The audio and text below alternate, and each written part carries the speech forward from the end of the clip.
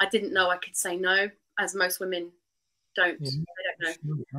Um, and I could see the unnecessary medical interventions and the, the, the trauma that the medical interventions were actually causing these poor women. When women are separated from their true nature, from what you might know as the gut instinct, yeah, just your wisdom. And if you keep in your head all the time, in your ego, in your thinking mind, you're going to be fearful, and fear changes everything. Fear breeds more fear. The difference between a traumatic birth and an empowered birth will change the world.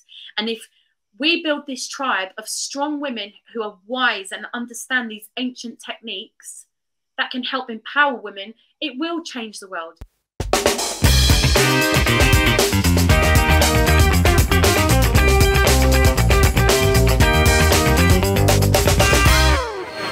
Welcome to the Drake Michigan podcast. I'm delighted that we've got the wonderful Nickita Starck with us, a powerhouse, I've been told.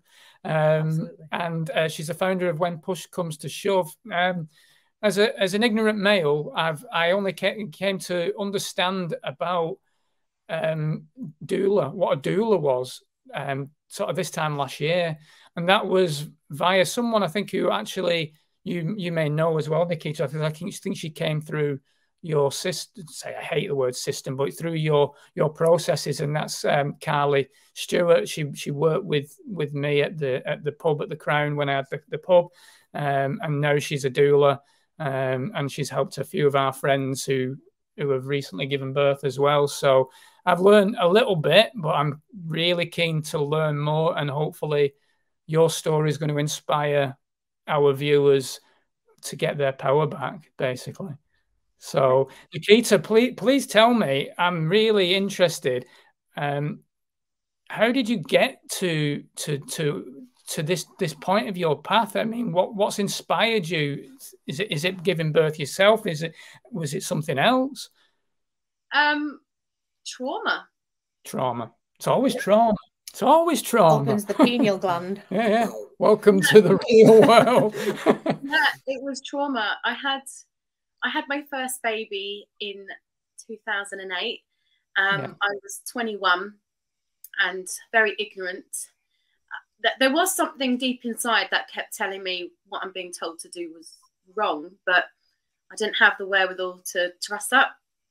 So I was told I was overdue and I had to be induced, and I just did what I was told yeah. Oh my god, I shouldn't have done that. But but do you know what? I don't have any regrets because I wouldn't be here talking to you now if I hadn't gone through that. Right. Yeah. So I had a, a very traumatic first birth. Um, I I thought the the pain was indescribable.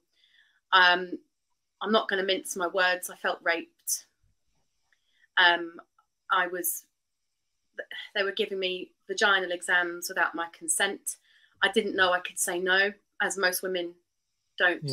They don't know. And I thought, what's the point in all this? And I, anyway, long story short, I, I, want, I don't want to hound on that too much because it's kind of irrelevant at this point.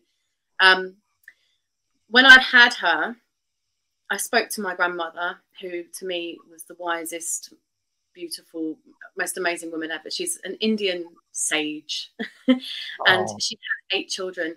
And I, th- I kept thinking, how did Nanny do this? Yeah. And um, I spoke to my nan and I said, Nanny, how do so many women do this? How did you do this eight times? And, you know, the trauma like this, how do people do it when it's the trauma is so normal? And she said, My darling, what you've experienced is not normal, it's common. And a light bulb went off in my head.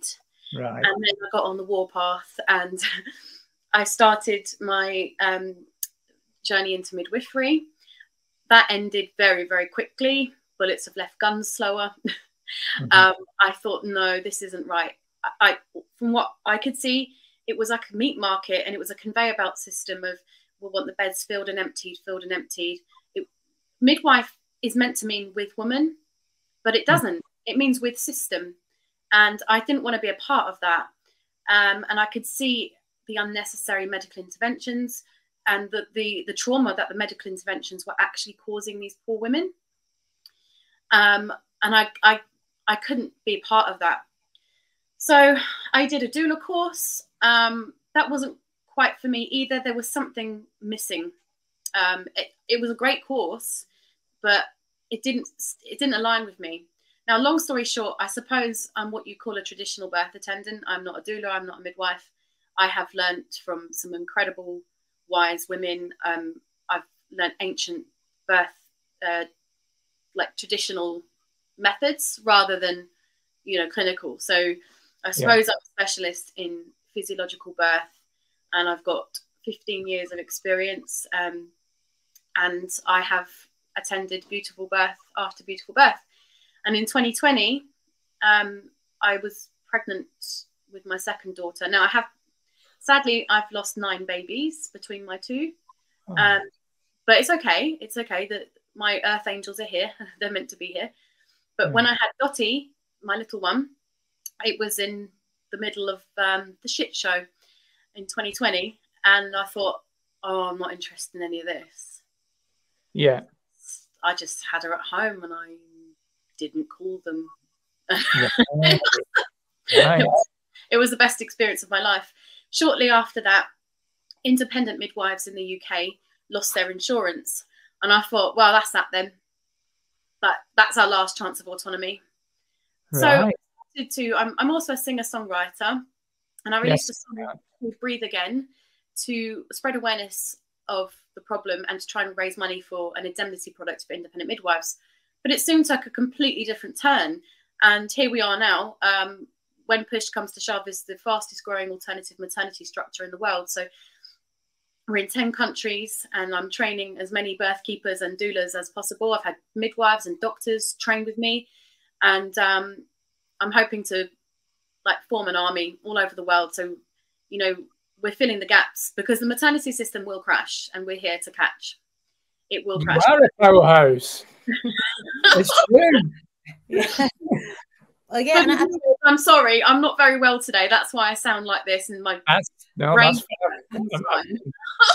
you're still still a powerhouse, even if you're under the weather. I know. Um, I know. I, I think you did um, a, a, conference, didn't you? Like a big conference, like recently, where I think you got a standing ovation, if I remember. Could you tell us a bit more about that? I mean, it's. I think it, it's. I mean, I was getting a few goosebumps. Me and Aunt always say, when when when spirits with us, not to get too woo woo, or the truth is that yeah. um, you know, it makes my um, makes my my hair stand up on my arms, you know, and and it's so important because all this lost knowledge and information is it's it's returning it's coming back mm-hmm. um, and it's almost like our ancestors like you know you say about your grandmother and um, this this stuff that you know this this this knowledge that's been hidden from us or you know there's been lost you know yeah. it's, it, it's it's it's coming back um, and it's so important and, and never more so in relation to you know holistic medicine and you know I, I, I don't like saying birthing but you know because that's the the term but you know um, our, our son bringing our sons and daughters into the world in in in the best and possible way, you know. So, um, yeah, tell us a bit more about your standing ovation. Which what was the name of the conference again? I do remember. Um, yeah, it was the Better Way conference. Um, was it? Yes, yeah. For health. I, I was introduced to Dr. Tess Lawrie, and she interviewed me and she asked me to come and speak at the Better Way conference. And it was a turning point both in my career and in my life. Um, I I've always I've always been viewed as a hippie. Um, who doesn't know anything. Um, and I was so scared because there was about 400 doctors in that room, and there was a lovely, lovely German doctor. Um, and I'll never forget what he said to me. He could see I was scared, and he said, "Don't worry, just go and do it." And I got off the stage, and he said, "Don't you ever be afraid to do that again. You were born to do this." Wow, lovely, beautiful. And uh, uh yeah, it was it was very humbling, and I I didn't have any speech prepared. I never do because birth is is oxytocin, it's love. So I decided to go and speak from the heart. I didn't yeah. want to prepare anything that didn't feel organic. Um, mm-hmm. So I just spoke. And uh, my friends thought I was mad. They're like, You're not going to have any notes? I was like, No, no, I don't feel I should. So I just spoke. And for the first time in my life, I felt that my message was being heard. I, yeah. I, I mean, at one point, I even had a misguided attempt at getting a bit of respect because I went to med school, and I thought, well, if I've got letters behind my name, mm-hmm. people might pay attention. Totally misguided. I left very, very quickly, and I didn't like it at all. And then um, during the last couple of years, I went on a few shows and did a few talks, and it seems to have happened exactly as it should. So I'm really mm. grateful that I listened to my higher self. Yeah. Trying to make things happen in my own strength. And we have lost a significant amount of wisdom. And I think that's half the problem. Well, it's most the problem. When women are separated from their true nature, from what you might know as the gut instinct. Yeah. Just your wisdom. And if you keep in your head all the time, in your ego, in your thinking mind, you're going to be fearful, and fear changes everything. Fear breeds more fear. And I believe when we look at the system, I can see the problem very clearly. So the presence of intelligence without wisdom is fucking dangerous, to put it bluntly. Yeah. Because we don't have access to that inner knowing. Look, put it this way, I haven't I haven't seen a woman's instinct wrong in 15 right. ever. Yeah. yeah. But yeah. we're so obsessed with controlling outcomes and making things happen and having an agenda like a woman should have this happen to them in order for this to happen. Well what about what she wants? Mm-hmm. and that's the difference. And i think I'm, I, I try to make this very very clear. A lot of people come to when push comes to shove because they're being so frightened by the system and they're saying oh you know you've got to be induced big baby placenta will stop working and various other nonsense.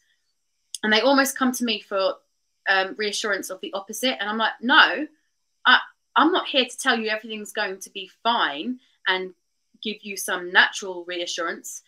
What about what you want and what do you feel? Because yeah. we're not going to be, there's already a system that tells women what to do. I'm not getting involved in that. No. Because that's disempowering. So I would always encourage women to actually drop down into trust and to actually feel what they're feeling and connect with their baby and make an informed decision rather than from a bullying standpoint or a, co- a coercive standpoint. That's never going to work. Empowerment is when we have control the whole way through. And even if a birth ends up in a cesarean operation, as long as that woman has made choices herself, then empowerment will occur. It's when your birth is taken from you or you hand it over because it's the most intimate time of your life. It's so, it's a rite of passage. Mm-hmm. It's a very spiritual experience. And I always make the comparison, right? Because when you're giving birth, you need to release oxytocin, which is your love hormone. It is a very shy hormone. Yeah. And it, it will leave at the first sign of danger. So when you release adrenaline, adrenaline will stop oxytocin flow. Now, you release oxytocin when you have sex. Can you imagine if you're in this beautiful embrace and then some prick opens the door, turns the lights on, starts shining a light in your eye and saying, You're all right? Well, it is 2023. Anything can happen, like, but yeah. I've, I've, heard that, isn't it? Like some women, you know, when when they're in that relaxed state. I mean, I, have never had children, so I, I, can't speak from experience, certainly not. But um, uh, that they they it can almost feel orgasmic when you're in the right setting. Some people have orgasmic births, don't they? I mean, I, again, you know, I don't know. It's not my arena, certainly not. but um, you know, it, it's just so interesting that you know when when this knowledge is applied, or you know, like you say, if you're going to tell a woman how to um, you know give birth then you, you're becoming the very thing that you're trying to move away from is it's a little bit similar to kind of my arena which obviously i know more about but you know if we're if we're fighting the system you know then we're becoming it you know be careful you know be careful when you fight the monsters lest you become one. You know it's, it is about giving power back like ant said to to the individual for them to you know us giving our power away to anything is what's got us in this mess in the first place. so yeah. we don't want to recreate the same thing in any any arena. And, and speaking uh, of the oxytocin the, the love the love is is there. I mean even for the the father i mean i've i've only witnessed my own daughter being born 17 years ago and the the instant love is there you know um, and it's just the most beautiful thing. And and and like during the shit show period, they were creating a situation where fathers couldn't even be there, um, and um, just horrendous situation. But yeah, for me, it just seems like there is a, a system put in place here to create trauma first to the, the mother and then to the baby as well and and it's just upside down. It's just so typical of this bloody realm that we're on that it's an upside down world. Uh, absolutely, and I really agree with what you said about you know don't fight the beast. And mm. I truly believe we don't need to criticize, we just need to create. Mm. And if we yeah. don't, if we if we focus, well, it's it's all well and good being aware of the problem, but cool, what are you going to do about it? If you keep criticizing and you know shaming all the time, well, what what energetic level does that feel to you? Like it's it's like trying to put out a fire with a fire. Yeah, yeah, absolutely. Yeah, yeah, I, I, say that all the time. It was one thing that I realized when everyone's so busy fighting the system still. And, and again, it's all this energy outward. They'll get you to look at anything, anything else, any kind of construct, any any kind of system that they give you, any kind of box to put you in, rather than getting you going, hang on a minute. The power is with us. We are the creators. We don't need you. You need our energy. So we're going to take our energy and place it somewhere else. Mm-hmm. We are these co-creators of of the one infinite um whatever you want to call that infinite um, energy that intelligent energy so we just we harness it and we give it back to ourselves and then we give it out in love to others that's how i view it yeah. stop fighting the system you you just creating the same thing so it's it's such a beautiful thing that we are returning like back to you know looking at where we've come from um and and yeah it's just such a powerful thing. Absolutely i totally agree with you. Like just imagine a room full of lamps and the lamps in this analogy are us and the electricity that lights up the lamps that's our greater consciousness. And mm. if we shine our light we'll shine brighter than a million dim bulbs i can assure you. So yeah. it's about making a choice from love not fear. And you know, a few of you may be watching thinking yeah but i actually had problems in my birth and yeah i totally get that and i'm not here to say birth is inherently safe i'm not but it's certainly not inherently dangerous childbirth right. is safe as life sometimes shit happens, but most of the time, if you're connected and you trust the physiological process without letting more fear into your environment, more stimuli to create adrenaline. I okay, put it this way: in 15 years, my C-section rate is three percent. The NHS is 40. Whoa! Yeah, wow and it just goes to show that system doesn't it you know um the the it, it, the system wants its kind of um it, its property being you know channeled through that state or that you know to contract you know a, a, woman's contractions to be delivered by the doctor on a ward you know and you become a ward of the state a ward of the court. You know that that they, they call it delivery livery. Um and it wants its stock you know um, and that's the system. It doesn't it, it doesn't have an inherent care for the woman. It's not there to empower. It's it's there to do completely the opposite mm-hmm. um, and take that away from you know take that choice away. And it is that freedom of choice and the, the ultimate freedom of choice as we know in cymatics as we know that we are beings of frequency is exactly that. It's a, you know like bill hicks would say in it and love or fear love or fear which one do you want? And that system wants still here. We want love. Cheesy yeah, as it is, man. Yeah, yeah, I'm, I'm, not we were hippy dippy, but it's, it's, it's exactly that, true. We have a choice in any given moment. We can we can choose love or fear. And I don't mean love as an emotion. I mean love as a state of being. Definitely. And when we when we choose love, it our our decisions will will feel right and, and we won't overthink things all the time. Look, if we think that we're separate waves in the ocean, the ocean becomes a very scary place.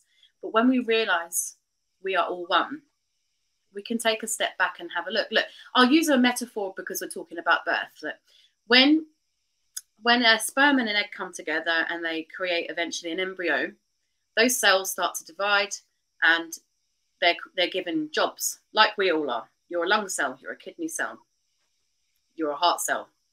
But what happens when one of those cells deviates and it goes away and it does its own thing, we call that cancer. Mm. We have a spiritual malignancy because we have so many humans that are so separated from consciousness that it is causing a malignancy and yeah. breeds more fear and more fear and more fear. Yeah. Now, I'm sure most of you watching understand that all form begins with a thought. Yeah, yeah, we're creators. Yeah, yeah we, we just, are. We are. We are creators. Yeah. This is this is the kingdom. This is the kingdom. The kingdom is within the two temples, the right and left hemispheres. You know, we we you know, as above, so below. It's absolutely in us. Yeah, definitely. I see birth go wrong when there's fear and yeah. when we're not unable to get out of their heads. And that's not a blame game. That's that's a product of the system. And I don't think for a second that the well-meaning individuals that are working within the system are sitting up at night writing notes of ways to piss no. you off. They're not. They're doing what they think is right. Of course, it's programming. Yeah. So it it's fine. You know, I would say when you've got someone who's I don't know, maybe not on your wavelength, and you feel that you're being confronted. Just remember, in, inside every confrontational person is a is a scared inner child, and yes. you disarm them with love. Um, I mean, we we have.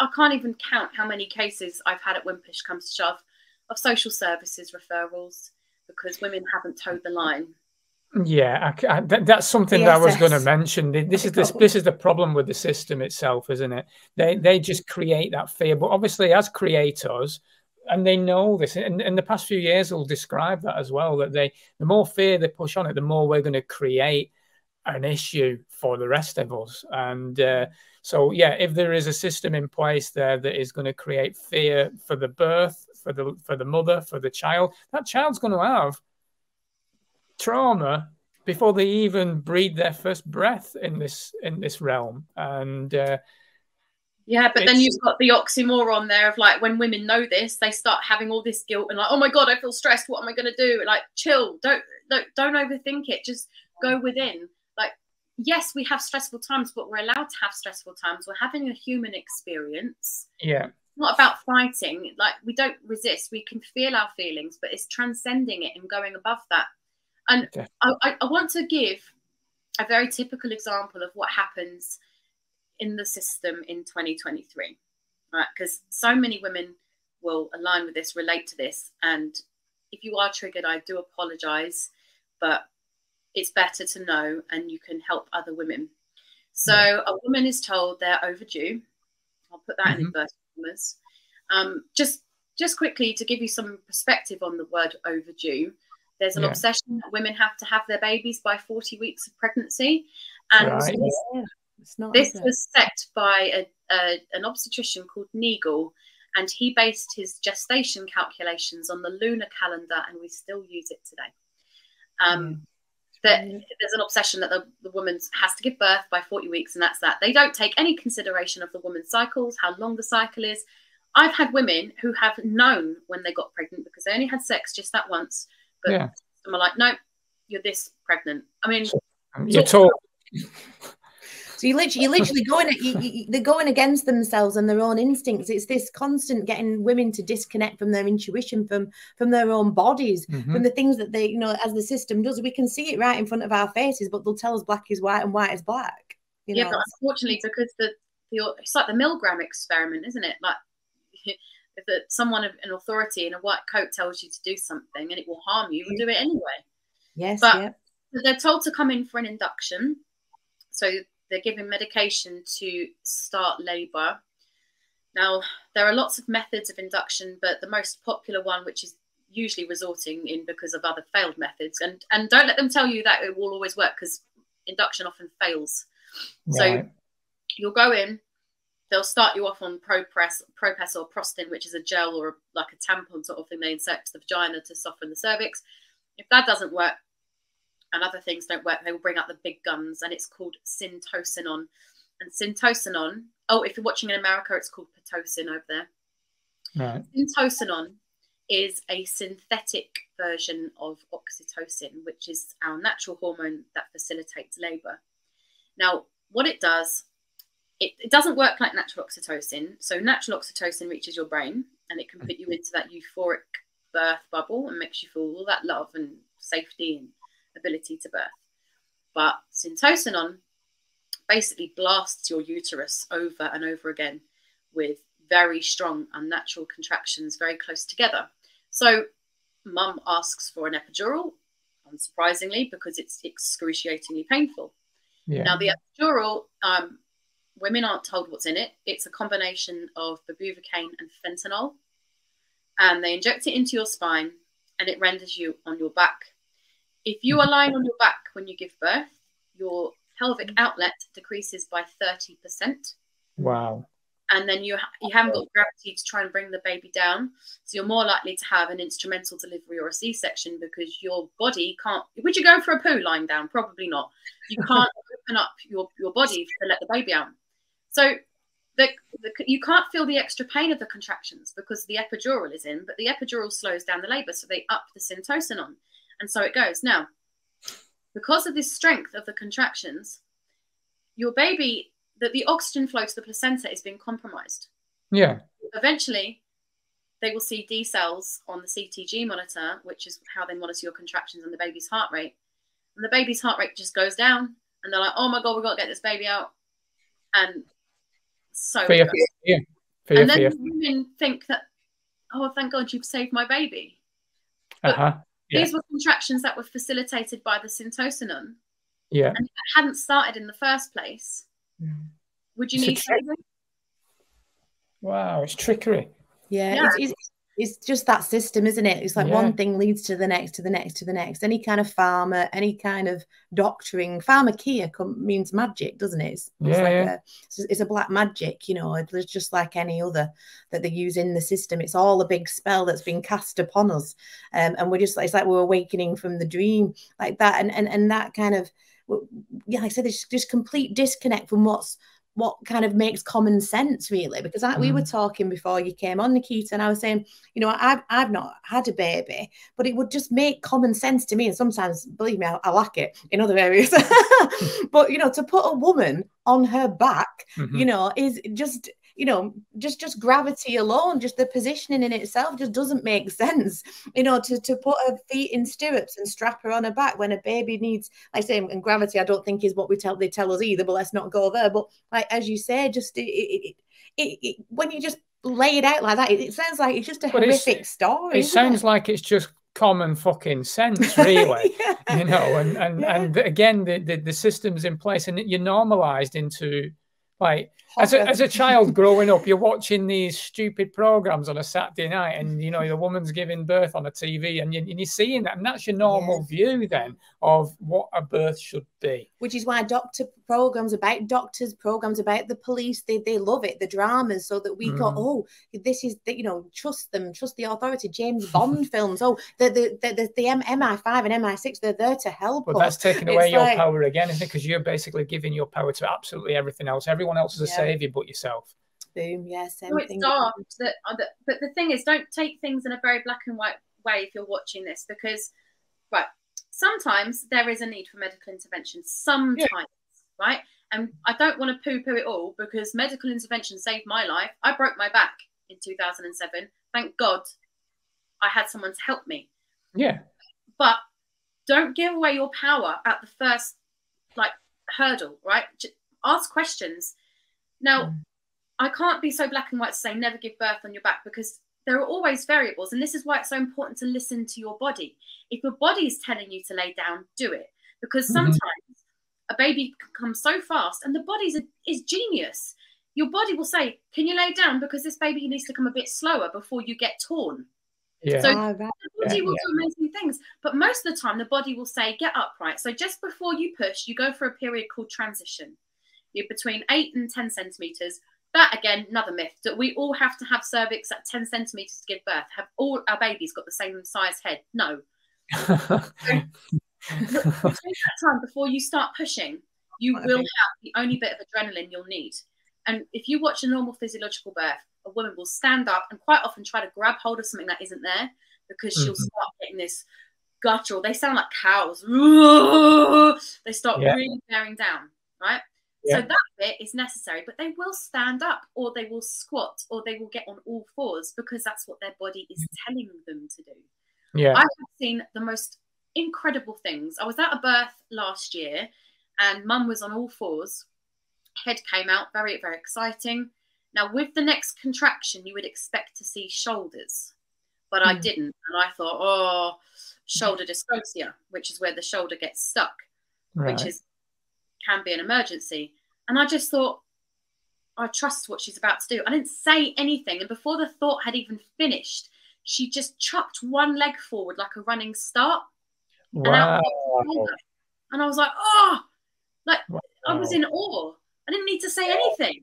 Before Yeah. I didn't finish the thought, mum did what mum needed to do wow because she Wow. listens to her body. And this is where it can get complicated if you're going to be in your head about things. So let's take, for example, meconium. Meconium is the baby's first poo. Yeah. sticky, sort of tarry stuff.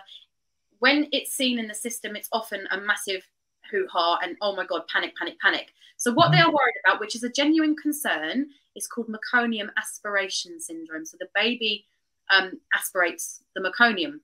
Right. It, it can lead to a fatality. But if we look at the the actual data, the presence of meconium doesn't mean babies in distress, but the lack of meconium doesn't mean to say baby's fine either. So, where do we go with this information? We listen. We listen to our gut. If you're going to rely on just logical stuff all the time, it's going to fail you and it can also make you very, very fearful. But yeah. I always see women tune into themselves and they actually know what to do. If you can't get there, fine say, okay, I need someone to make a decision for me. I'm not saying you have to do it one way or the other. There are options. Mm-hmm. But I've been, I'll give you two different examples of, of meconium at birth. I was at a birth once and I saw meconium very early on in labour. If I'd seen it right at the end, it wouldn't worry me. The baby's digestive system is mature.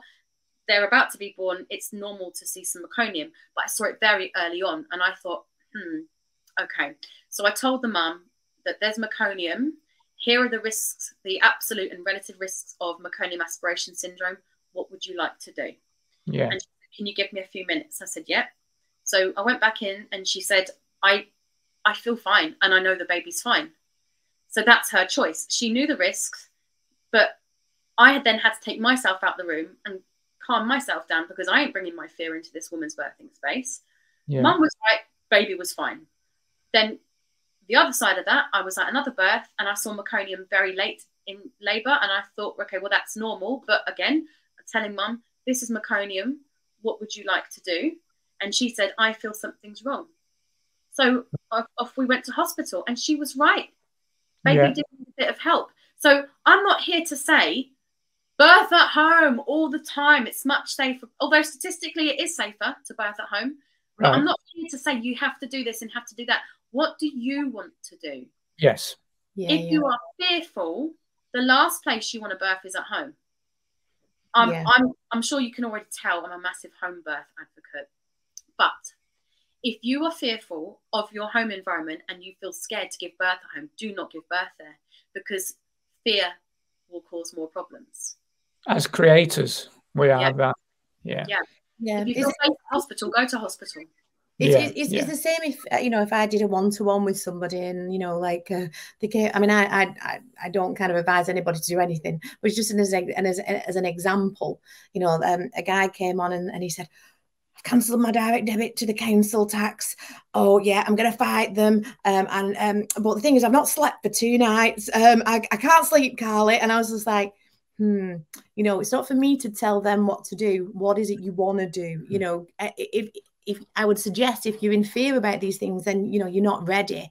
Um, and I think it, we, we've got out of touch with our own senses. You know, I, I did a, yeah. a, great podcast with a guy called Arthur Christian, and because of all the constructs that were given and all this information, misinformation, you know, we do have to trust nature. We have to go back to trusting our senses, to being present in that moment, and that how you describe those two, you know, different ladies' situations they they sensed they they were in nature they were in the present moment and they knew what to do because they were they were in tune with that and i think in all um, walks of life especially in if it is a great awakening or not you know yeah. that that that sensory information that we get back to nature that we're communicating with our environments with our bodies with with each other as men and women you know that's even been you know we know about the division there as well you mm-hmm. know but um yeah so it's such an interesting like you say they they knew what to do when that time came and that's something we've all lost i think. Oh we're, definitely back.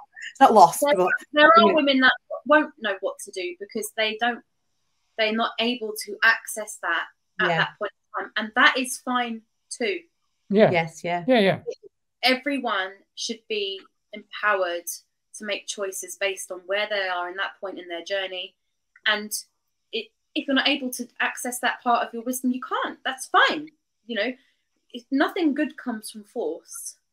Yeah. And yeah. if you're not ready to question the maternity system yet or step outside of it, cool. Yeah. But we are here to help fill in the gaps.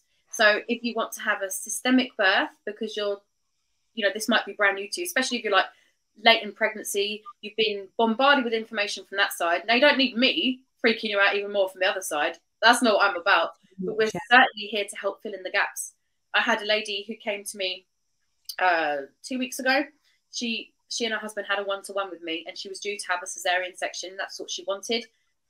And I thought, well, I am not about to start scaring her about natural birth and stuff like that. So I thought, okay, what plan can we put in place so she has the most empowered C section? Mm-hmm. That's what I'm about, not telling anyone what to do. And yeah. in the end, uh, she was very worried about getting um, tainted blood. Oh, right, yes. so um, I was going to start singing tainted blood. it took me a minute. I went, oh, Are you with me? She was very worried about that. Um, yeah. And at no point had her consultant given her any other options. It was blood transfusion or nothing. So to empower her, I walked her through all the options. I was like, well, you can use something called Gelofusine, which is um, a synthetic um, uh, form of it's not a blood transfusion, but it's a plasma expander. So you can use that instead. As you're having a cesarean operation, they can bring in a cell salvage machine instead okay. of a blood transfusion. Right. So we went through all that, and she needed it. She bled, mm-hmm. and right. they had it all set up for her. The doctors didn't even mention it the whole time she was pregnant. She was very scared. And then I taught her about the importance of skin to skin contact you can still yeah. have cord clamping when you've had a C section. And she did have a much better experience than she thought she would. So, again, it's not about choose black or white, home or hospital, natural or, you know, managed. No. You know, what do you want to do? You know, mm. Yeah. you know, it's so refreshing, I think, for women to have gone from being told what to do, from someone coming in who is a birth keeper, sits on your sofa on your turf and goes, right, what do you want? That yeah. that is a huge difference. Rather than being barked orders at, your rhesus negative, you've got to have anti-D. You're overdue, you've got to be induced. You've yeah. had a C-section, you've got to have another one.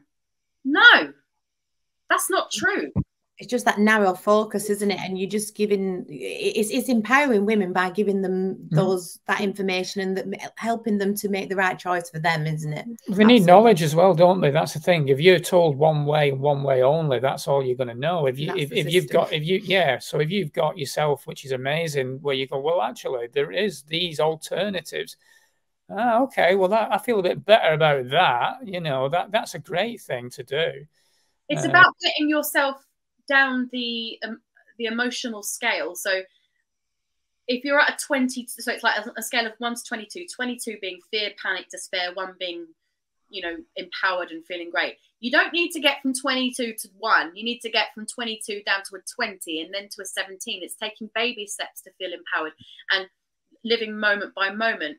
You know, it's it's about understanding that there doesn't have to be an agenda and according to anyone else. It's about what you want.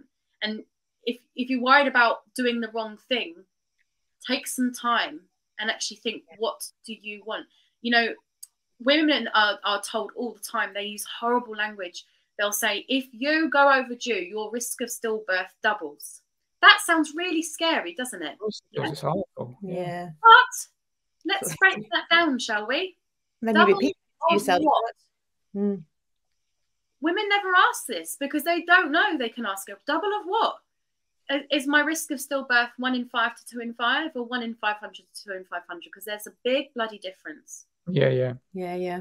And we're repeating that to themselves won't we? And we know what we say to ourselves then that we create it and it's like mm-hmm. wow hmm. isn't it? Yeah. i think asking questions is important isn't it? I think this is where because again you're in, you're sort of conditioned to trust and trust alone you don't ask questions, do you? This is the thing. So you've got. I don't think women know the right questions to ask sometimes. So, um, yeah. for those of you watching, if you go to my website, you can down, download a free book, uh, an ebook. It's called The Template Letters, and I've I've written hundreds of letters for women over the years, and I'm very proud to say my letters have a 100% success rate. And what I mean by success rate is getting the system to focus their brains and actually give them respect and help them to make an informed decision.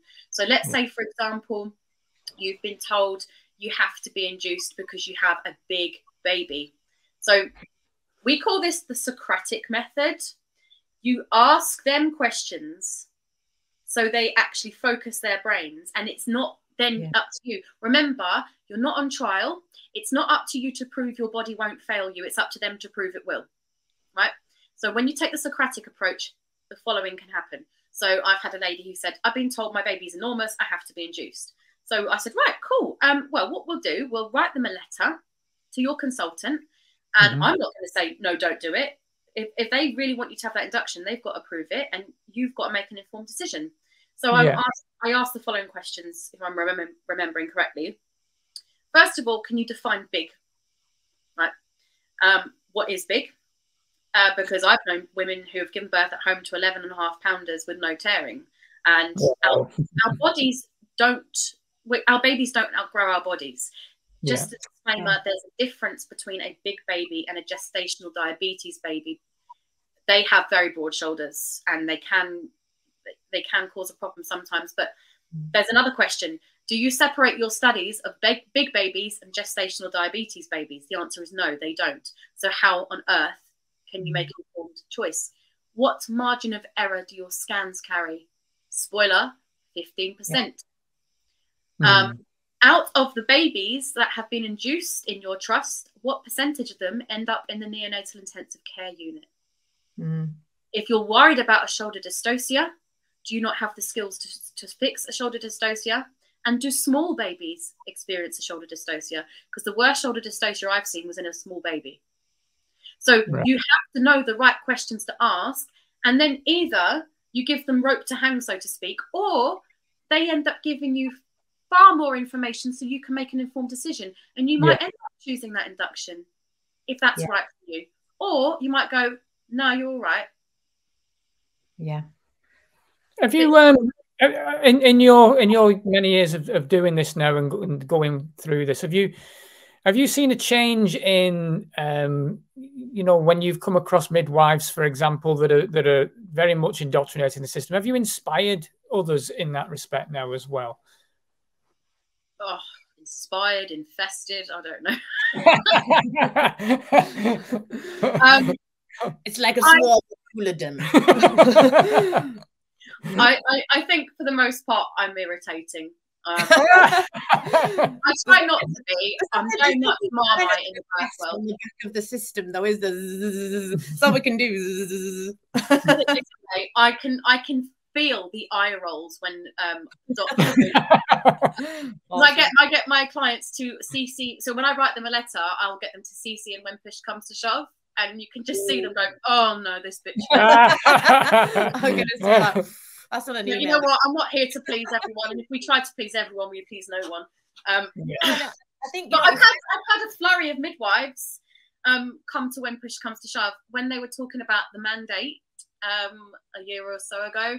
Mm-hmm. Um, and a lot of them went right. That's it. I'm done. And I I made something called the midwife lifeboat course. Mm-hmm. Um, that was to give midwives a lifeline and another chance to work in an autonomous way. Um, yeah. And every single midwife that came through that course, they all said, "Oh my God, this is how I want to practice. I don't want to do this anymore."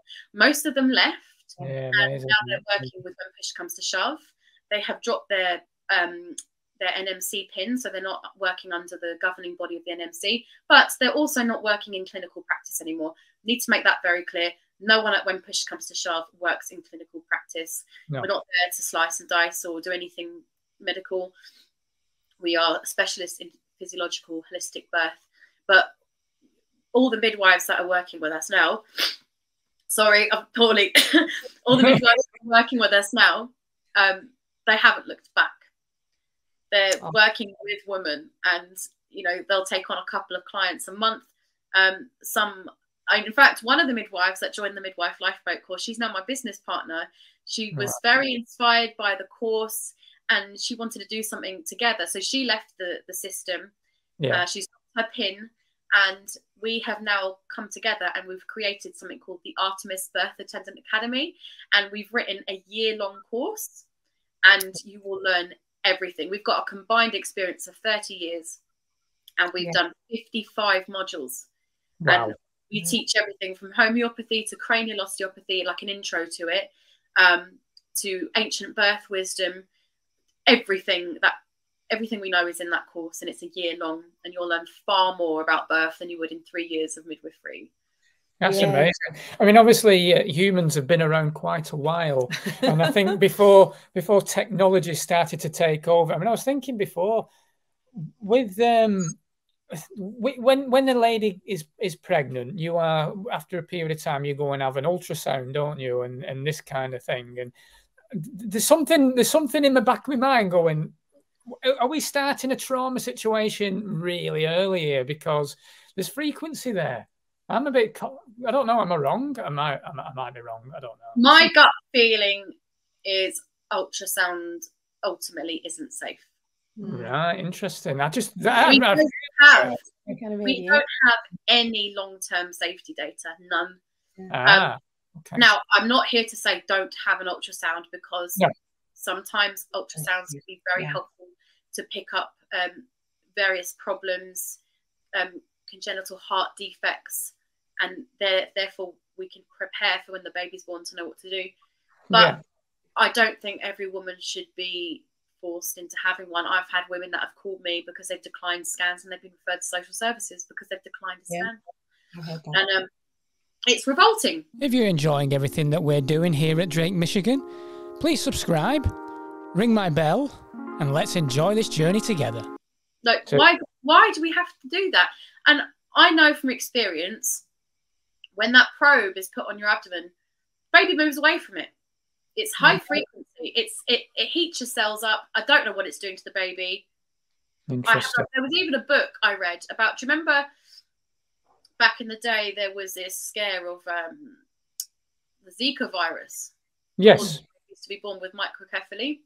Yes. Um, well, one of my clients had a baby with microcephaly, and I, I was doing a lot of research um, and I came across a book of a guy that said the Zika conspiracy, and he was saying it was nothing to do with mosquitoes. He he thinks it was to do with high frequency ultrasounds that was causing the microcephaly.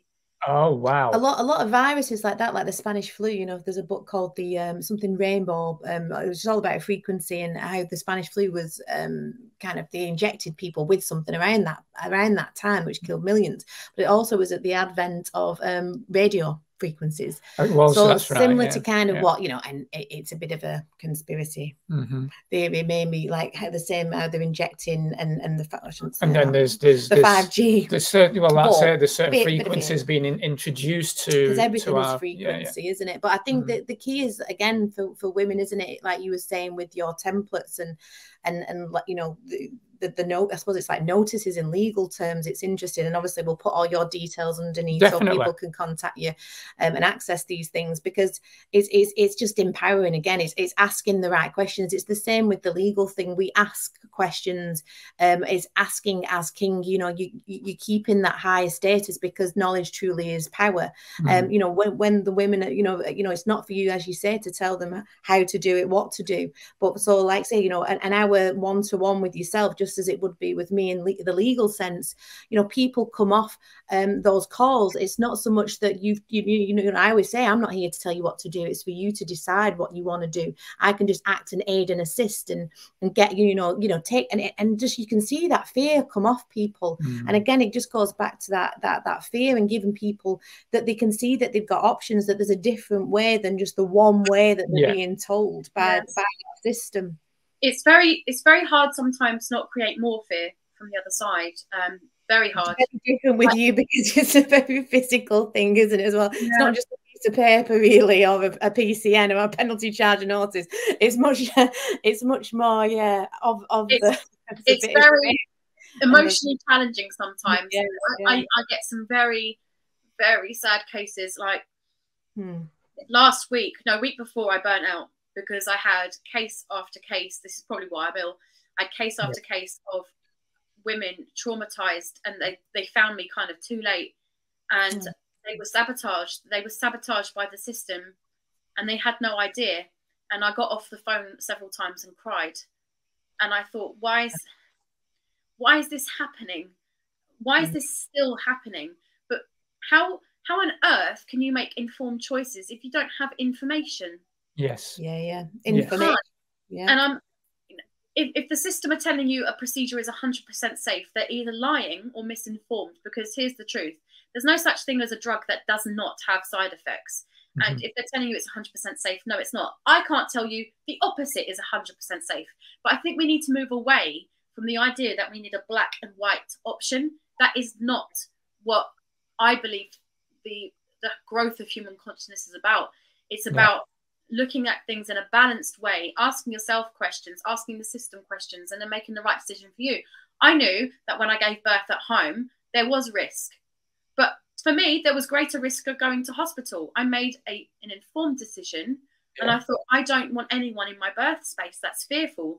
I don't want women gathered around me wearing fucking hazmat suits. And I, I, I just, ugh, no, I know what I want. So Yeah. I knew there was risk, but there's risk with everything. There is. you walk out your front door, you know, you could class that as a risk, but certainly with giving birth, you know, things go up. But like you say, it's, it's it's information, it's an informed, you know, being able to just that that's just empowering to to have all that information and have somebody kind of, you know, you know, get it across to you in a clear and concise manner, you know, in, in But- any situation. But we're all unique, aren't we, Nickita, as well? So every, I presume every birth in that respect is unique. Every Mm. female that's giving birth is unique. Don't don't think for a second that birth will follow a pattern because it won't. No. There's no such thing as a textbook birth. You know, we're told, oh, when the contractions are two minutes apart, don't pay any attention to that. I've seen a 10 hour second stage of labor. Like a woman, a woman when she was about to push and she went, no, I need a rest. And I went, all right. And then she mm-hmm. went to sleep for a few hours and woke up and then the contractions started again. Right. Wow. I'll tell you an amazing story, and this is what we are capable of, ladies. Now, this woman in question was not a particularly spiritual woman. She wasn't on a woo woo hippie path. And this was years and years ago.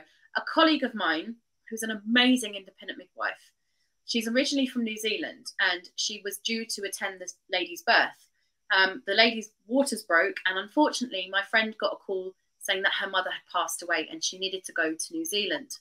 So she rang her client and she said, I have to go to New Zealand. I'll send someone else to your birth because your waters are broken. And this woman went, No, I'll wait. It's fine, I'll wait. And she went, But I'm going to be gone for like two weeks. And she went, No, it's fine, I'll wait.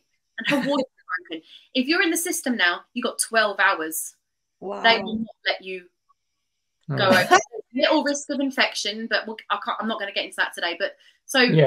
my, my friend went to New Zealand. She was gone for 17 days Yeah. she came home and she called this lady to see what she'd had and she went no i told you i'd wait no and way. then she said had you have you slept and she says i haven't slept yet she went well go and sleep and then i'll have the baby when you wake up and that's exactly what she did Whoa, Wow. that's so cool. That's that power, like we were talking, like you were saying, and we were That's so talking about cool. it this morning. You know, the cosmic mind is the original thought. It's thought, uh, the, the the kingdom, that that power, That's that woman's beautiful. intent and mind, and and you know, we, we know how thought kind of affects matter in that Mm. way. And what an amazing example of That that! is- There's no bigger one than that. I was that. like, well, yeah, like, I, I can hardly wait around in a queue. Me, I was like, that's, she that's wanted there. She wanted her there and that's what she was going to get. I've got Mm. another example of it. Last march i attended a wonderful home birth. Um, this lady was a head teacher at school. Very very logical very very i need structure and this has to happen. She went on maternity leave very late and she goes nickita i'm finishing school on the friday so i will have i won't have the baby before then. I'm going to have the baby on sunday. It's exactly what she did she, she was amazing. She called me early hours Sunday morning and she goes, My waters are broken and I'm having regular contractions. Me not listening to her gut, I'm thinking, first time baby, go back to bed. You've got ages yet. So I told her, go back to bed. She called me an hour later and I could hear in her voice, I was like, oh shit. So I got in the car and um, her husband called me when I was nearly there and she and he said to me, Oh, she needs a poo. I was like, No, she doesn't. She, so but I got there and um, she was like leaning over the birth pool and I said, Oh, let me have a look. And I looked and I could see the head was right there. And I said, Look, if you want a water birth, I suggest you get in the pool. And uh, she got in and the baby was born with 10, 10 minutes of my arrival. And this was a first time mum. And first time again, this is why birth never follows a pattern. You, you Yeah. would expect that a first time birth would be between eight and 12 hours in like established labor. But this baby shot out. And, you know, I learn all the time. I don't know everything. Every Yeah. birth I attend, I learn something new. And it's very humbling. I'm like, oh my God, this. This woman had in her head, I'm going to have this baby on Sunday. That's my plan. And that's exactly what she did. And I was like, power to you, woman. Yes. Must be a Really star feed. Let me out. Let me out of here. I've got I've got work to do. It's like, come on. well, um, and- and you may be able to enlighten me actually, because I've been sat here thinking, because I love etymology and I, I love words. And um, doula, what does the word doula actually mean? It means woman servant in Greek. Oh wow, okay, Mm. interesting. Yeah, I was just sat here thinking doula must obviously have some kind of deeper meaning. Woman Mm. servant. Mm. We Yeah, woman servant. Yeah, yeah, yeah. Wow. So, and, and that's such an interesting thing, isn't it? Do you find Nickita? You know, obviously there's a big awakened community at the moment, shall we call it? But um, you know, like talking about this lady who was um uh, just you know a head teacher. You know, you must see such a, a range of different women. Do you find that you know it really is like really spread across the board? So, and that's what kind of I suppose being awakened or not is, isn't it? It's such it's like a, it's like a Persian rug. It's such a such a tapestry of, of different people, as in the tapestry of all kinds of different styles of birth, whether the baby's coming quickly or not. And um, what what's kind of your experience out there in the in in in, in the in the douladom of, of different kind of I, I don't want to call them clients, women clients. I'm just in We've legal. had all sorts, we, all from all work, walks of life. I've attended, um, so I do Zerths, Zoom births. So people who can't find, um, you know, birth keepers in their area. I've done them from Wow. ladies in Dubai, for Colombia, Canada, America, who need the support. They don't have anyone physically there, so I'll go on, on Zoom for them. We get, we've had celebrities come to us for their births. Um, we've had people in poverty, people who have got a lot of money. We've had all sorts. But I tell you one very common denominator in this all. Mm. Every single awake, for a la- lack of a better word, person that comes through when push comes to shove service, they're awake, but they're all empaths. And Okay. what I can see, empaths have had unsafe or at the very least unpredictable parents. So they can spot something off a mile away. Yeah. Mm, And it's interesting. all things they have this trauma from Mm. something in their childhood and they can recognize danger like that. Yeah, yeah. That's the common denominator I see. We were talking about that Very again this morning. It's, it's just so interesting how everything, well, everything's connected, isn't it? Everything's interconnected, but the Mm. trauma opens the pineal gland, that that, and, and perhaps that deeper, that deeper intuition uh, that we were talking about, that sensory, that you know, just just like you say, just to be able to spot it, you know, Mm. extremely quickly. That's why we've kind of worked out the the game, in, in for want of a better phrase, Mm. uh, far far far quicker than maybe you know Joe Joe Normie maybe. Well, yeah, because you with, like without, that without that trauma, you feel safe in the system, won't you? yeah, You- yeah. You, you've not, Yeah, you've not. yeah. So yeah, it's uh, it, it's it's amazing how many people we speak to on the on the podcast where, where trauma is the catalyst for a spiritual awakening of some description. And uh, I, I was saying to Car- Carly before, I heard something where the central nervous system is your filter. And and and that, it, with trauma, that central nervous system is damaged, and therefore your filter is is is is less strong. If that makes what makes sense. Yeah, So therefore, you are connecting more to source. You are breaking down that, um, which I think is an interesting. It wouldn't surprise me because trauma was certainly a catalyst Yeah. for my. fight or flight, isn't it? You know, Yeah, you, yeah. You've, you've, yeah, like I Yeah. said, to do the nervous system, the endocrine system, things like that. You So know? I mean, yeah, it's interesting. Sorry, sorry, yeah. Nickita, you were going to say something. No, if, if you think of like um uh like a heart monitor and you know the little things that go up and down, you can see the Yeah. beep, like casualty. He's tachycardic. He's tachycardic. people with trauma and use the, the heart monitor as a metaphor. So if you've got someone that's just buzzing through life, no trauma, you can just see the tiny little variables, right? It takes quite a long time for get to point from point A to point B. But if you've got someone who's got trauma and you use the heart monitor that they've got very high up and down waves, it takes a much quicker time from, to get from A to B. Interesting. you've got this Yeah. to come down. It's it's a very good metaphor to understand the spiritual journey that we're on. Yeah, I like that. Like a roller coaster, isn't it? Yeah, yeah, yeah I like that. Trauma's a roller coaster, just gotta ride it. yeah, we need to get Ronan Keating to do a do over on that. I was like, I get spirits communicates to me through song. but yeah, yeah, it's just so interesting, isn't it? And um, I think you, you're going to be at the um, the Shine seminars, aren't you? Um, in yeah, I'm speaking on Friday, Friday morning. Spend then, I'll miss I'm, you. I'm not there till the afternoon. Are you not? Well, I'm going to be. I'm, I'm, really busy that weekend, so I'm speaking at the Shine seminars Friday morning. I think it's about nine thirty, and then I've got to go all the way to the other side of the country because on Saturday I'm speaking at Jam for Freedom. Oh yeah, Jam for Freedom's there on. Yeah, yeah, yeah. So no, I'm I'm speaking Sunday morning, so we'll we'll be like shits in the, shits in the night. Shits in the night. shits in the night. What little oh yeah, yeah, no, and it's such a powerful message, isn't it? And there's, you know, there's so much, you know, there's so many amazing people doing such amazing stuff to bring. It's like healing these ancestral wounds. I always say it's almost like our ancestors are screaming at us from uh, mm. beyond the veil, um, going like, you know, remember, you know, remember who you are, remember mm. who you are, you know, and when we're, we're, all starting to know ourselves, we're all starting to um, get our power back, you know, like we were saying, instead of giving it over to the people in the white coats, to giving it over to, you know, just because you've got a clipboard and a, and a, badge and a uniform doesn't mean that you're correct, I'm afraid. And they're all mm. given certificates and awards, and they all, you know, like you said, you briefly went back to kind of get the piece of paper and the letters behind your name, but we're we're all starting to deprogram from that and realizing that, you know, again, an award is something you give award. You know, we don't need the pieces of paper. It's it's starting to trust our own power and who we are and, and, and helping each other and aiding each other in love. We all have our different skill sets and that puts the the unity and community, as I say. Mm. Absolutely. And you know what? We're all here for the same reason. We're here to serve the world with love. How we do that is up to you yeah. to your calling. Just so happens mine appears to be birth. But yeah. just remember this, right? It when fear takes over, you wouldn't open a door to a dark room and see the dark and start kicking and screaming and punching the dark. You would turn the light on, right? Now, just yeah. remember darkness is not a thing, it's the absence of a thing, which is light. So when you are faced with that fear, just shine your light. Yeah, and, yeah. and hopefully unity will i mean that's what yoga means yoga means unity it's my understanding mind body and soul mm-hmm. and how it works together yeah.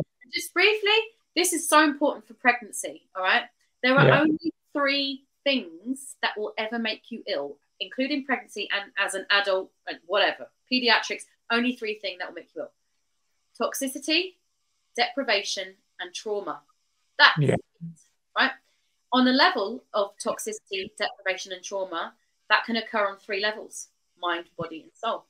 So if you looked at the body and there's no toxicity in your body, you're not depriving mm-hmm. your body of anything, you haven't had a physical trauma, what about here? Because yeah. trauma on emotional and spiritual and a body level will cause dis-ease. Yes. Yes. So that's why, Carly, what you were saying about our ancestors are like screaming out. We do have a choice. We can cut that, you know. Mm. We can cut that handmaiden bloody legacy, that toxic legacy that we have to be good girls and we have to do what we're told. We're taught right from childhood that we're responsible for other people's feelings. That's not true. And it happens when just just watch next time you see this and being an impartial observer. Kid having tantrum, mum, don't do that. It makes me feel like this. Child learns yeah. responsible for other people's feelings. No, they're not.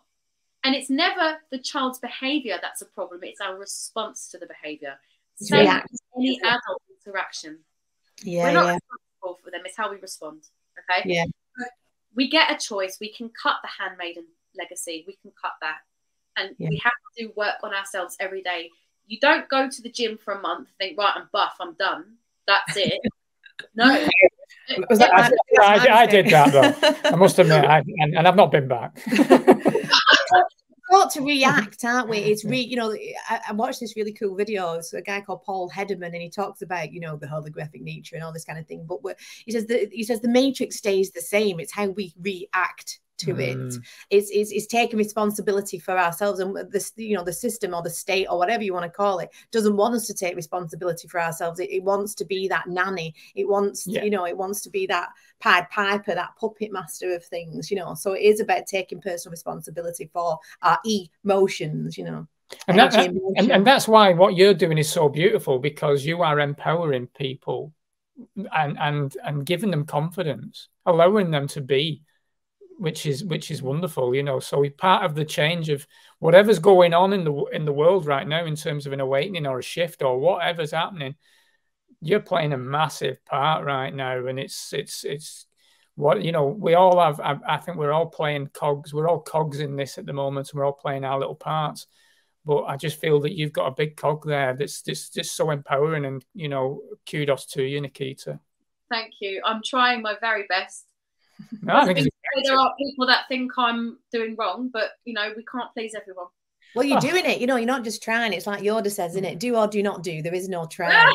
you are, you are always the Star Wars references in the Matrix. Me, I'm all right no. but, um, but, yeah, you know, you, are out there. You you've done it. You're not just doing it. You've done it, done and it. you'll yeah, continue yeah. to do. You know, and and and evolve, and we'll uh, enjoy being. I love what you just said because that's exactly the words I say to the mums yeah. when they tell me they can't do it anymore. I can't do this. You're already doing it. You've yeah. done it, really. but yes, yeah, no, awesome. Yeah, Nickita, can I ask you something though? Because obviously you're going to have pushback from circles. There's no doubt about that. Um, because when you when you're fighting a, a, a system that's that's put in place, you're going to have indoctrination or people that are going to literally you, you're going to get hate, aren't you? I can imagine, and you've got to you've just got to put love out there, kind of thing. Um, but you must have had to, because you're a very intelligent woman, obviously, and you must have learned an awful lot of the science behind pregnancy, because you're going to have to counteract doctors and various other physicians or whatever. That must be a, a challenge, or do you welcome that? Business. I don't. I don't need to prove anything. I mean, no. if I'm asked, I will. Yeah, I do know my stuff. I'm very good at my job. If yeah. I'm asked, I'll talk, but I'm not going about going about the place shoving it down people's throats. I'm not doing that. It's. Do you know what? There, there was an. Inter- I keep talking about this because it was so profound on an energetic level for me. I watched an interview. There was a woman who was 105 years old, and the mm. interviewer said to her, "What is the key to longevity?" And she said, "Minding my own business." And I thought, "Oh my god." Amazing. You're not. You're not going to change it to when uh, when push comes, we're shoving it down your face. I, think, I, think, I think that's the thing as well. You know, people um, when they're ready, you know, they'll they'll resonate and energetically in that kind of quantum entanglement, they will find you. You know, if, if you know people are watching this and resonate with it, yes, they will find you. Definitely. And it is. It's. It, we don't need to push. We just. I always say, you know, we don't just talk the talk but walk the walk. You know hopefully we all lead by example with with with purity of heart and intention and and the rest will just happen because that's that that is divine you know. Absolutely. I'm not interested in you know going to protests or anything like that or you know let's try and change the system. No i've made a new one. Exactly. Boom.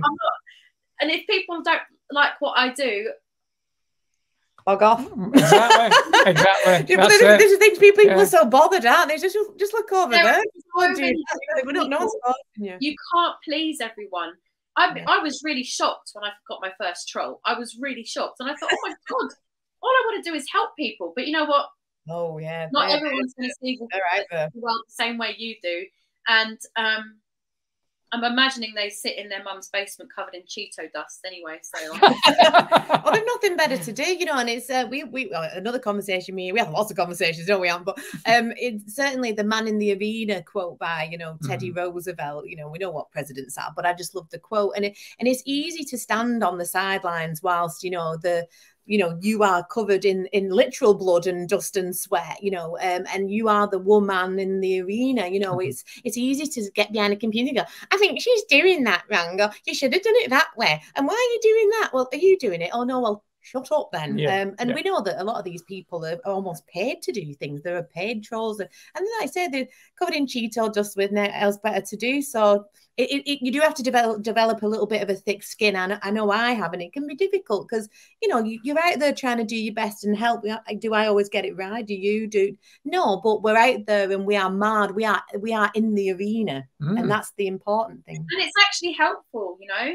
I mm. think when you ask the universe, help me with I don't know anger or help me with anxiety, the first thing that will start banging at your door is anger and anxiety because like yeah sure. You know what? You can be really enlightened when everyone around you is behaving exactly as you want but it's the yeah. challenges it's the tests when yeah. right you you think you can do this? What about this? What about this?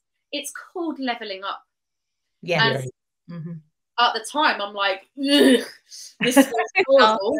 this feels yucky. But sit with it. Don't resist. And anyone out there who is trying to do something different who is trying to do something against the mainstream, just do it. Don't think about it. Just have your vision and make it happen. Yes, you're going to get tests along the way. Yes, you're going to get weird little trolls and obsessed people. Let Mind I said, you must love me so much. He's thinking about me all the time. I know. Can you imagine what impact? Pictures of me on the fridge with darts. Oh yeah, I'm sure there's a few voodoo dolls of me lying around. Isn't it? You know, they want to kind of use that energy, you know, it's, it's quite funny, and you've got to laugh. I mean, it, it, was there were some things I was watching recently in relation to kind of that kind of trolling thing, and I, am so glad I don't respond, you know, because sometimes it's tempting, isn't it? Because we're all human, mm-hmm. but then I just kind of think it's exactly what you said, Nickita, earlier. You know, it's is words. You know, it's not what we say, it's what we do. And I always say to people, check the energy of where that comes from. Forget what it is that they're saying. Mm-hmm. Check my energy, check theirs. That gives you all the answers that you need to know hopefully. And then I hopefully I just gracefully pop off and float off into the distance. That's how I think it looks in my head anyway. Probably not, but bless, block, delete. Yeah, yeah, exactly. That's as much energy as you uh, but sometimes, you know, if it gives you an uncomfortable feeling, that's good. You, you can check yourself, you know.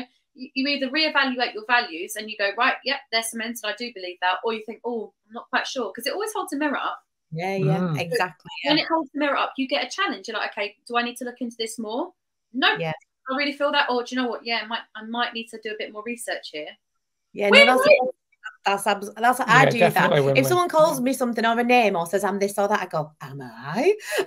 I'll sit there for no. okay, thanks. Just checking. it's horrible though, isn't it? Isn't that amazing what fear can do?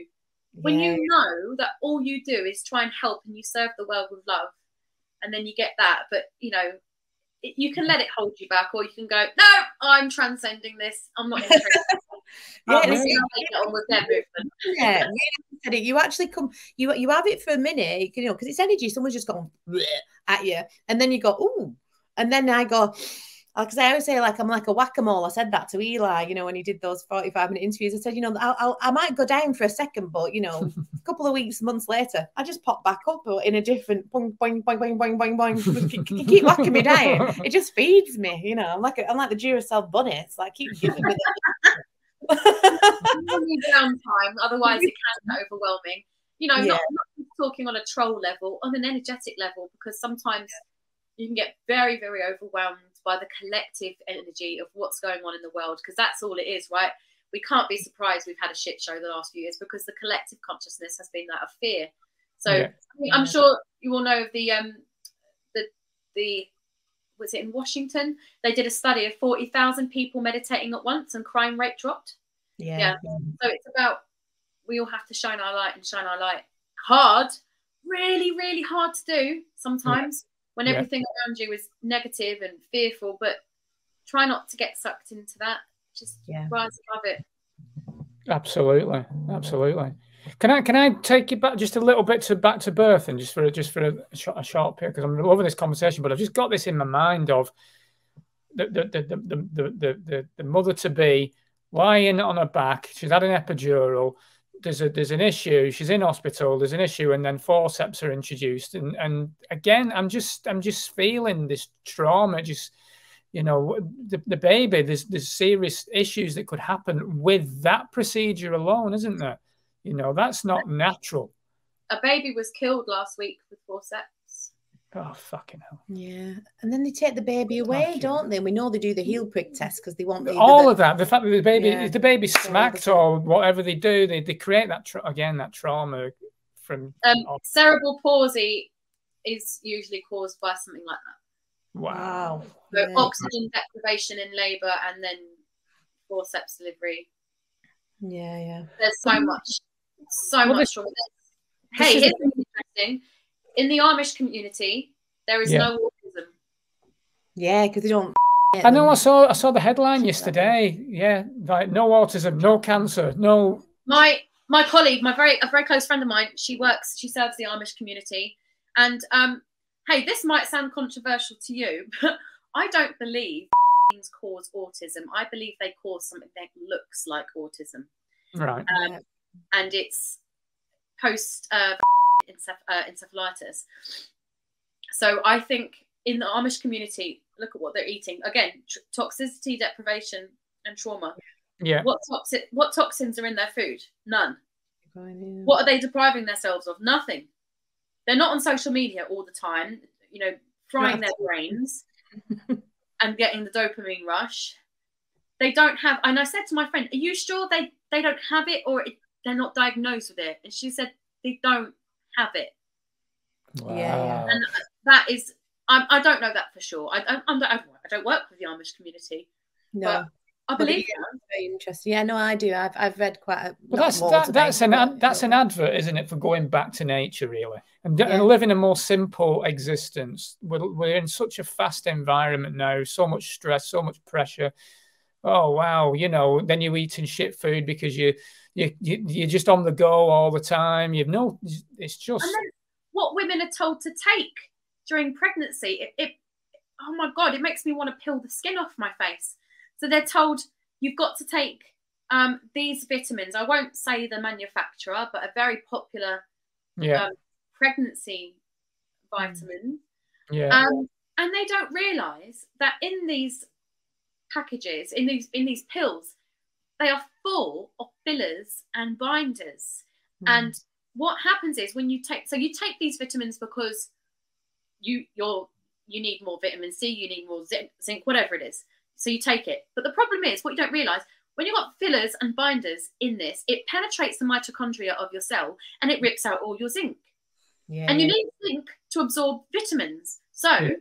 what essentially you're doing is giving your, yourself very expensive wee. That's Yeah. it. It doesn't do anything yes, pass right and they tell you take folic acid.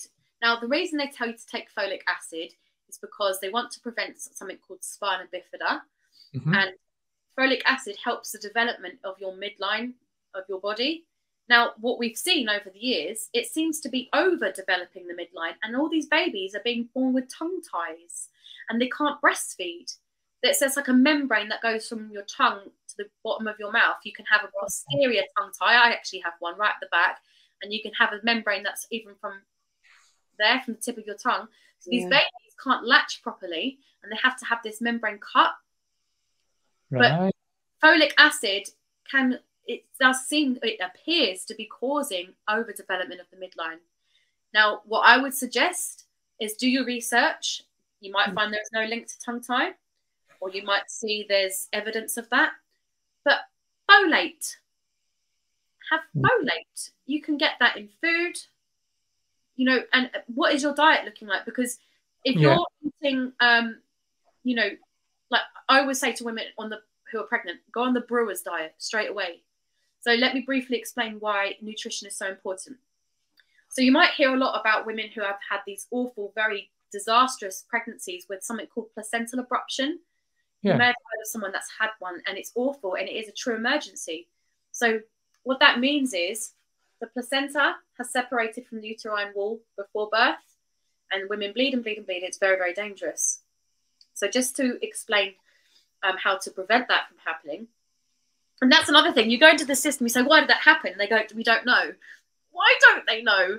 Yeah, why don't you know? They don't know anything. Not, well not it's because all of just treat I'll why it happens or why it usually happens i don't want to say that in a full full term so you've got the uterine wall and the placenta is attached to it behind the placenta, you've got a pool of blood. And the pool of blood is responsible for keeping that placenta nourished and therefore um, nourishing your baby. In order for the pool of blood to be sufficient, we have to expand our blood volume by up to 60% during pregnancy. In order to do that, our liver has to perform 500 metabolic functions. In order for our liver to do that, we need 120 grams of protein a day. If we don't have 120 grams of protein a day, you will see various ailments, and at a very serious level, things like placental abruption, preeclampsia, gestational diabetes. I had a, a, very good friend of mine who I've known since I was two years old, who has forever just thought of me as a weird hippie. With her second baby, she decided to do things differently because she had a traumatic first birth. When she was about 30 weeks pregnant, she called me, she said she'd fainted. I went round and I discovered she'd got horrific gestational diabetes. I was like, what the hell are you eating? Like, you eat? She's like, oh shit, cakes. I'm like, oh well, there you go. Mm. I said, look, we're going to put you on the brewer's diet. And she said, oh no, I don't want to go on metformin or all these horrible drugs. I was like, you don't need to. You just need to change your diet right now. It will get rid of it. Mm. She was hmm. very skeptical. Uh, skeptical. Ten days later, gone. No sign of gestational diabetes. Completely gone because she'd been wow. following the brewer's diet. Literally gone. Wow. And she couldn't believe it. And long story short, I, I tell you what, this was probably the, the best birth I've ever attended because I've known her since I was two years old. She called me at nine thirty at night. I got there at quarter to ten. The baby was born at ten fifty five, and I caught him yeah. in my arms. My best friend of, of thirty four years. It was so magic. Wow. And then, and then he had meconium, so she sent me a card saying, "Dear Auntie Keaty, I'm sorry I pooed on you." the, point, the point of the story is nutrition is everything. Yeah, you yeah. not taught any of it. You go to a three minute midwife appointment mm-hmm. and they mm-hmm. don't address what you're eating or what you're not eating. And then they start telling you to take all these things. They don't understand what's in them. This is why you should challenge everything. You know, when I got appointments for various medical interventions, I asked questions. I was like, can you give me information about this, that, and the other? The doctor calls me, don't know the answer to any of these questions. I can see you've made an informed decision. I'll leave you alone. Cool. But women yeah. don't know the right questions to ask.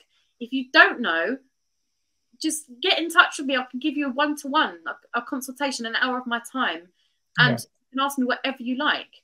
I don't. I might not have the answer to every single question, but I will help you find your way. Yes. It's so yes. important to feel empowered, ladies. And seriously, peace on earth begins at birth. I can't stress that enough. I love that. Women don't acquiesce to this shit during pregnancy, think what we're capable of. And I tell you what, when you view an empowered and ecstatic birth, it is healing for anyone present. I mm. bet it is, yeah. When you yeah. see that woman catch her own baby wow. and hold them up like bloody Simba from the Lion King, like yeah. I did it. That is a woman you can't mess with. Yes. Yeah, yeah. That's it, Her own mm. power. And look how it works. Empowered birth, oxytocin, endorphins. That's love. Look at the start of birth. The baby is made in love and born in love. Then the woman feels empowered, much stronger relationship with her partner, much stronger relationship with other children. Then she can start pouring from a full cup. And if you've got enough love for yourself, you can pour over for your kids. If that's you've got more than that you can start helping your community and so on and so forth. The difference between a traumatic birth and an empowered birth will change the world.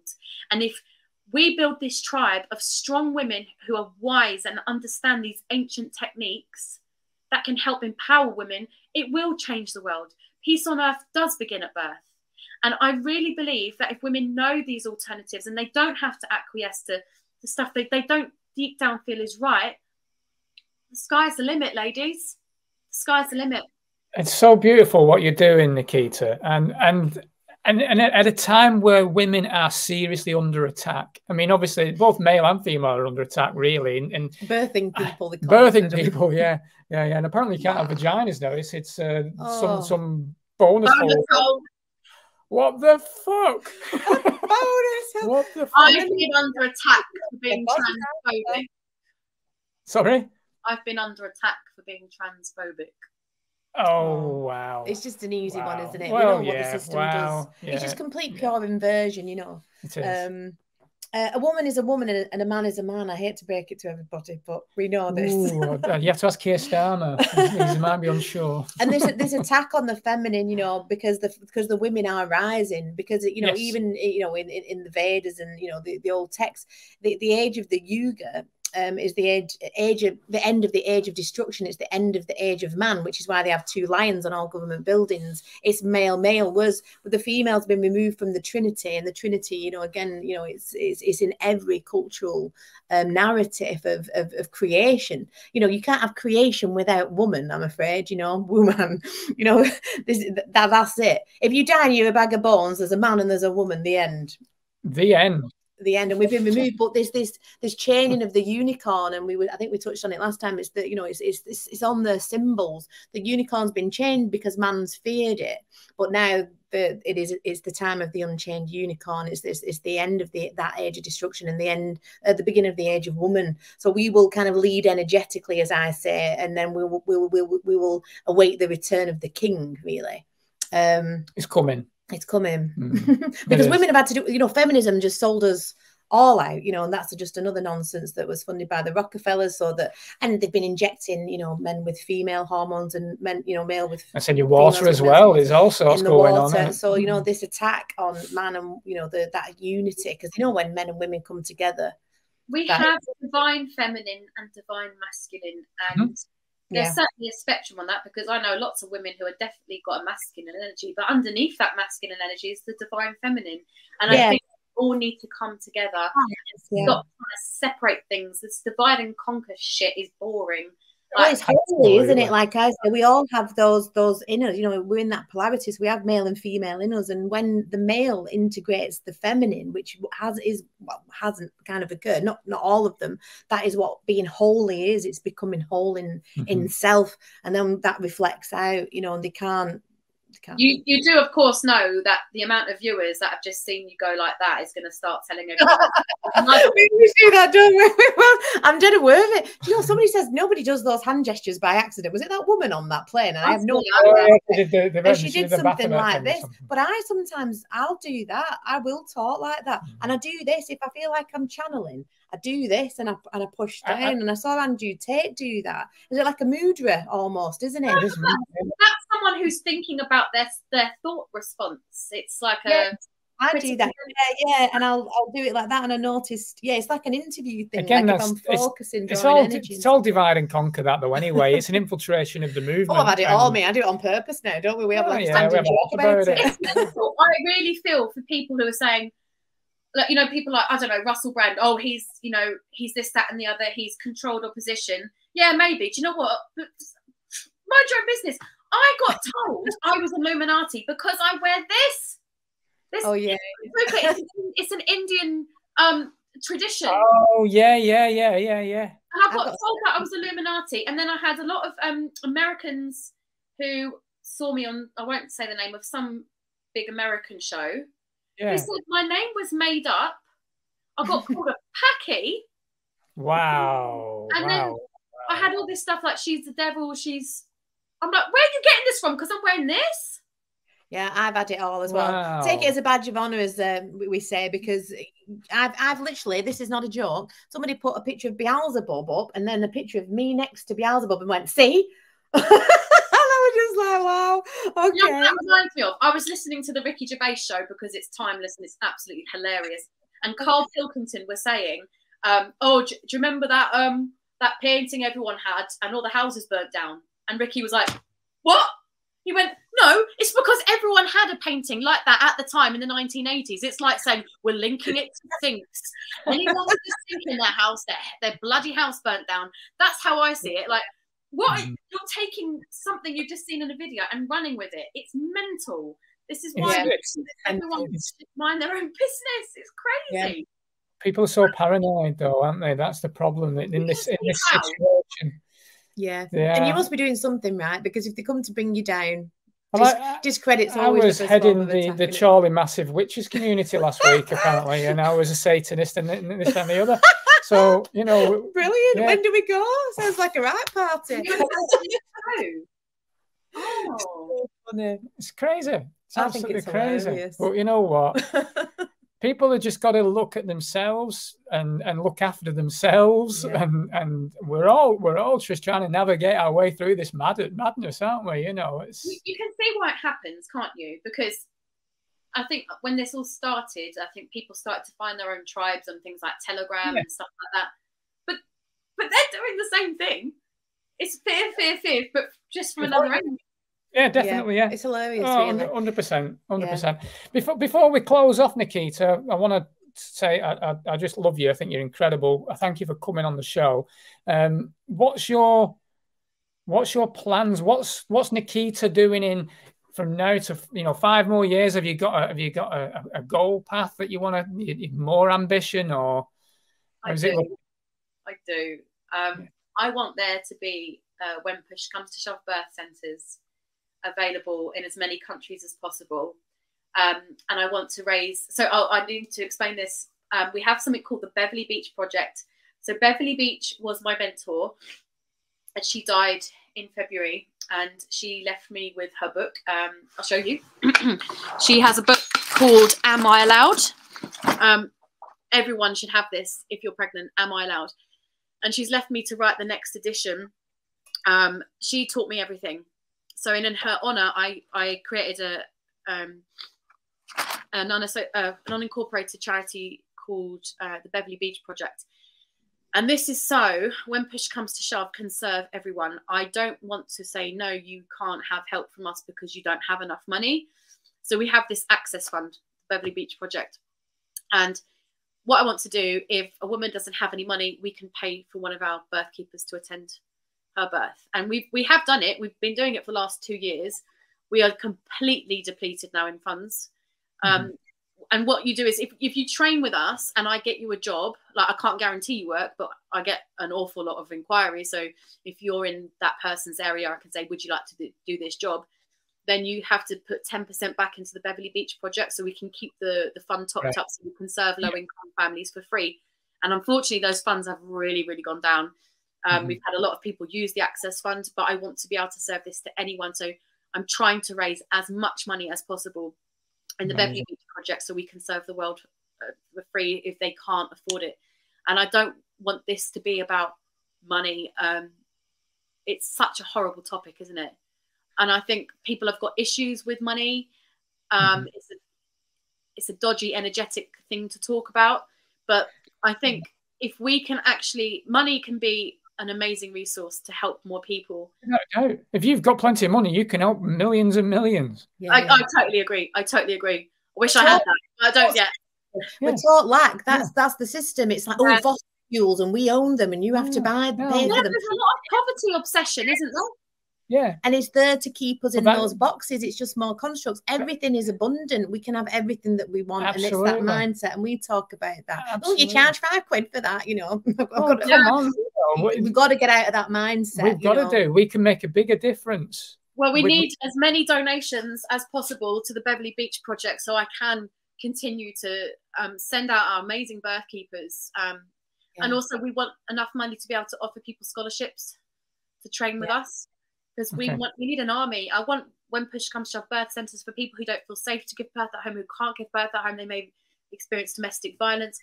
I would just want to have uh, options for women. Right yeah. now, we're filling the gaps, and we are attending hundreds of births, not millions, but hundreds, which is great.